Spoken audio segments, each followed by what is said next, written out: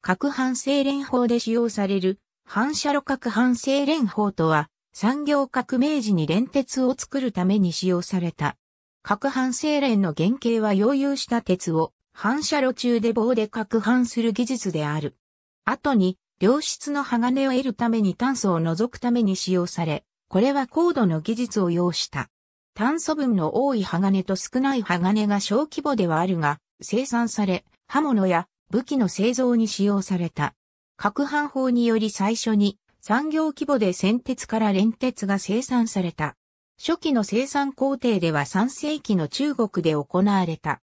銑鉄は核反により空気中の酸素と接触して炭素を燃やすことで炭素含有量を減らすことで連鉄を得る。ヨーロッパでは18世紀後半から活炭を使用せずに膀胱を製造するようになった。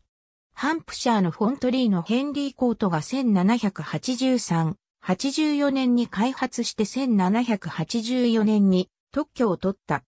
中国での連鉄製造期限前2世紀から3世紀にかけての漢の時代に中国の夜勤士たちは溶融した銑鉄から核反によって空気と接触させることによって炭素を燃やし、炭素含有量を減らし連鉄を得る方法を発見した。中国ではこの皇帝を文字通りかき混ぜる茶をと呼ばれた。天候怪物に皇帝が記述されている。ありがとうございます。